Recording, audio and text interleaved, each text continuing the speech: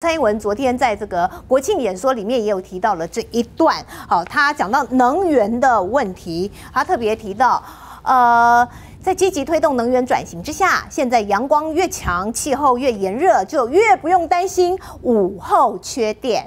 但清大教授叶光中光直接打脸说，他根本在为民众吃安慰剂啊！好，在这部分，其实我要搭配服用一起这个赖清德在十月四号讲的，赖清德也说啊，不缺电，只有浪费电，因为赖清德给的理由是有三十趴的电。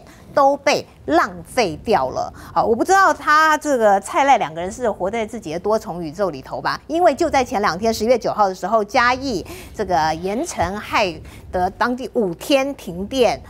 四万多户的这个民生用电搞老半天，好不容易恢复了。事实上，动不动停电跳电这新闻实在是太多了。可是回过头来，蔡英文说，阳光越强越不怕缺电啊，因为呢，我们有绿电。好，而且他也提到喽，这个绿电其实已经超越了核电。的部分，那当然了，绿电我知道大概八趴左右吧。那你说绿电现在大过核电，因为核电就一直除役呀，所以说过来讲过去，这通通都只是话术而已。国基，呃，其实我我老实说，我昨天看了他这个报道那个演说的那个内容里面哦，去讲到说啊，天气越热哦，这个电越多，哦什么到了傍晚都不用害怕。对，但是现在啊，对，那是因为现在还有核电做基底呀。可是他说，去年哦，去年推动能源转型，去年终于让绿电的总发电量首度超越核电。对，就是说，因为太阳能你到处射光电板，对，那核电你一个一个厂的让它停役，确实这个停机下来，确实这个绿电是会超越核电，这个不意外。嗯，但是我说现在还有核电在运转，这是现阶段为什么还没有到缺电程度的原因。今年夏天老实说有惊无险啦。那关键是今年夏天的最重要的关键是制造业的衰退，对，是因为制造业花的电没有那么多，反而让我们这个度过了一个不缺电的年。可是明年不要忘记了，明年核三核三厂其中一座这个机组明年要停了，后年会再一组，哦，所以二零二五年完成非核家园目标的时候，我们的。光这个光电有办法撑上去吗？而且最关键的是，我觉得没有把一个结构性的问题哦，比如说最近有几个蛮好笑的事情啦，比如说他们哦，他们说什么小犬台风过了之后哦，哦我们的这个风电哦，马上在隔天就什么发电大量的这个风电就发来发出来了。好，第一个，这跟季节有关，嗯，因为东北季风开始吹了，我们的风电的旺季来了。可是呢，跟台风也没有关系，因为台风期间这些风机是会停机的，是会停下，而且不让它风扇叶转动，因为如果转动的话，可能会导致它这个风机故障。那你风电的部分，现在正是好的时间点，所以它会发电，相对的来讲是比较有效率的。如果是七月份的台风过，你试看看，七月份的台风过了，我靠，一片。海海上一片宁静，嗯，也没有什么发电，嗯，那时候七八月份基本上就是靠光电而已。那可是光电又有一个问题呀，没办法储电呐，嗯，就是我们现在的储电设备还没有办法成熟，所以你每次都会到了傍晚的时候，那个突然我们中午哦，比如说光电哦占占的比数占到百分全全日发电可以占到百分之二十哦，结果呢到了傍晚突然变零，对。然后呢，这个时间点如果如果发生，现在反而很容易跳电，都是在傍晚的时刻，大家会发现，因为就是这个在电力的调度上面会会这个对台电的人员就是一个挑战，所以我我是觉得大家务实一点啦。那你我觉得对蔡总统来讲，他就是觉得我啊都生挖后文，哎。阿伯利被安装，嗯，对，就是今年让我度过啦。对，明年国庆是赖清德奖嘛？对，我今年能安安安全下庄。对啊，啊，明年暑假能不能安全是明年是赖清德的事啊，不关我的事啊。所以他只要他只要说哦，我们这是你看还还特别强调不能走回头路，不能走回头路。所以光电风电会做的更多更大，哎，大家都要有心理准备。哎，所以，我我我是觉得，他还是没有把这次整个能源议题的结构性问题把它说出来，是。还是一个比较大内宣式的内容啦。然后我就觉得比较可惜的是说，你看哦，像其实赖清德一度是讲说，呃，如果紧急运转需要核电的时候，不排除重启，曾经有抛出这个，有。可是很抱歉，昨天蔡英文的这个说法就不能走回头路、哦，对，也就是断了这个可能性哦。也就是民进党如果继续执政，接下来我们就等着看他哪一天跳票。嗯，我说的跳票是指不用核电，二零二五的非核家园这一个证件。如果赖清德真的当选了，他必须上任第一件事情就是要处理能源。然后呢，而且大家不要忘记了，因为全球的景气目前都是评估哦，今年第四季到明年第一季基本上要开始复苏了。复苏是什么意思？用电就开始激增了。我们的这个所有的工业区哦，我们要这个这个，也许到时候可能要感谢是不是 A 克法停下来，让我们的传统产业哦减少用电还是怎么样嘛？不知道。可是 A 克法没有那么没有那么快停哦，这个贸易壁垒调查，就算最后说哦，你我们违反了，最后可能要做一个所谓的 A 克法的反制，也要半年以后了，就是实际生效也要半年了。所以我觉得呃，这个现阶段我觉得都不要太碰红。对，嘿，今年我觉得蔡总统算他运气好，他度过了一个平安的用电年。那不代表明年我们的用电就可以很乐观。那更何况哦，现在越来越多的我们发现光电有很多的问题待解决。那这些问题如果没有办法解决的，没有办法克服的话，未来民众在这种处理大规模的光电的电厂，他要去设置的时候，会碰到可能会有居民的抗议或什么的，都会碰到一些障碍。所以我觉得还是务实一点，我们不用特别去说啊反对绿能，绿能大家都希望，嗯，可是我们该务实的面对我们的能源，如果有缺口的时候，可不可以有更好的方案？对，对，那现在你看，像今天这个这个战斗蓝的证件哦，有基本上就是柯文哲跟侯友谊的合体啦，对，合并啦，嘿，就是说合一二三嘛。那柯文哲是说合二合三，嗯，嘿，重启，然后呢合四再评估。那这个侯友谊是多一个合一的。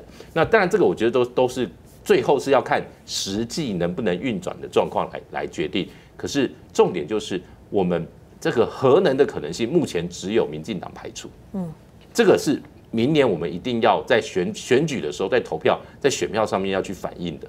就是如果你觉得能源我们现在的能源政策是好的，哦，那你去好去支持民进党没有问题。如果你对这个有一点担忧或什么话，你可能要提醒民进党，这个核能的可能性到底有没有可能存在？嗯，这个是要用选票去提醒的。好，战斗蓝的政见蓝白合在能源政策这一块啊，我们就来看看今天战斗蓝抛出了哪些政见。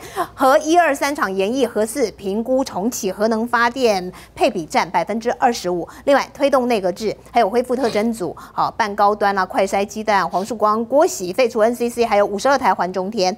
那么以及第四项政见修法，呃重判诈欺犯、死刑犯，除了少数有疑虑的，三个月内全部执行完毕。还有低阶职业军人加薪，兵役回复四个月。现在因为现在延长到一年了嘛，好，还有两岸对等互设联络办事处，以及大学生免学费，全面检讨课纲费双语政策。这样的政见，这个兵哥怎么看？算大快人心吗？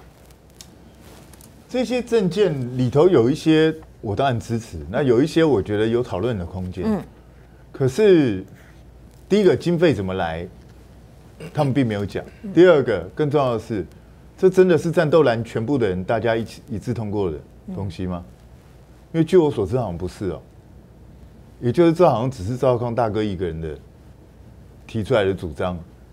因为在在在他提出来这个主张之前，请问一下，韩国瑜知道这件事吗？侯友谊知道这件事吗？然后在场的这些战斗蓝的成员都一致通过这个决定吗？如果没有的话，请问一下，现在战斗蓝提出这个东西，这个算是侯友谊的政见呢，还是国民党的主张呢？还是只是战斗蓝的个人见解，还是只是赵少康先生一个人的想法？我我觉得，我觉得他今天提出来这个东西是非常奇怪。老实讲，我从头到尾觉得莫名其妙。因为我本来啊，我本来以为今天这个场子是帮这些立委参选人造势，顺便拉抬一下侯友谊的声势。因为韩国瑜也合体了嘛，所以就是把声势搞大一点。对然后为侯友谊的民调啊，整个声势拉抬一下。结果怎么后来变成这样？我我实在搞不懂这到底在干嘛。因为其实今天早上我刚好去代班，所以我他们在举行记者会的时候，我刚好在楼下，嗯，我就看他们一个一个走进来，走进来的时候，很多人脸上是一脸茫然，就是好像他也不不太清楚自己到底来干嘛，然后就大家一起合合照、拍拍照片。那我我觉得这个安排本身我是觉得很诡异啊，就是战斗蓝可不可以提出他的主张？可以，当然可以啊。但是既然你要找人来跟你合体的话，至少跟你合体的人他应该要知道这件事吧？他也应该要知道你的主张是什么，而且他也能够认同嘛。因为大家仔细去看哦，它里头有一些主张，何友谊好像不是这样主张的哦。所以那那请问一下，这到底算谁的？那何友谊要因为这样改变他自己的政治主张吗？还是他只是来插花？不好意思，我路过拍个照而已，不关我的事。所以这这个真的搞得非常奇怪，我不知道今天为什么会安排成这个样子啊。所以我我觉得接下来恐怕是国民党自己内部要讨论。战斗蓝提出这个证件，国民党是要照单全收呢，还是有些收有些不收？你们你们是不是要去讨论一下，这到底发生什么样一个状况？然后我今天也觉得很奇怪，既然要这么盛大了，就是侯友谊、韩国瑜全部都找来，嗯，那朱一伦为什么不来？听说朱一伦是没有受到邀请，朱一伦听说前两天有问过这件事。然后他好像没有受到邀请，那请问一下，这是什么意思？是这个是表示这些人走的是跟朱一伦不同的路吗？可是又不太可能啊，因为这后面很多一大堆都是党提名的立委参选人呢。嗯，那请问一下，国民党到底在玩什么？在现在这个节骨眼还在玩这种东西，是嫌大家分裂的不够厉害，就是 还在搞这个吗？所以，我我我不知道，我我本来期待的战斗蓝的这样的一个记者会不是这样的一个东西，但今天出来这个东西，我不能说我失望，我只能说我觉得很奇怪，我完全搞不清楚这到底发生了什么事。因为赵少康先生只是一个国民党党员哦，嗯，他没有任何党职，他今年也没有要参选，那他提出政见，求问一下是什么意思？所以我我真的是搞不懂这到底在干嘛。原来好的益生菌真的可以帮助入睡。太阳星全效克菲尔益生菌是国家认证 AB 克菲尔益生菌，含七种有身份证的专利活菌，能产生伽巴、色氨酸等助眠因子，难怪吃了更快入睡，也睡得更好。太阳星全效克菲尔益生菌也是台湾市场上唯一添加克菲尔乳杆菌 M1 的产品，这是由台湾知名的大学季转，对季节敏感、调整体质的朋友，真的是一大福音。